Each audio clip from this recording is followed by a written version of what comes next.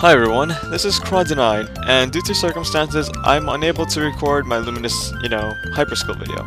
So I have my friend Mint, Mint Cup here to help me out. So she will explain the skill and then use it, and you will see it. So go ahead, take it away. What should I do first? Um, go to, with Equalize. Equalize. Okay. Um, Equalize.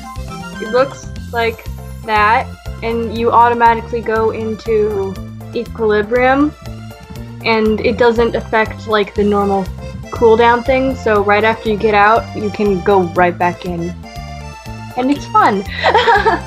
now explain Armageddon.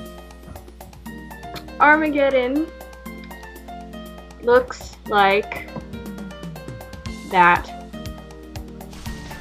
And if it doesn't automatically kill the monster, then it will make it so they can't attack for 20 seconds. Which is very helpful at Stronghold. Very. and because none of us are level 200, we can't show off heroic memories, so generally all it does is give you 10% damage for 60 seconds, and there's a 100% 120 second cooldown, and it applies to heroes classes only, so it will not apply to explorers.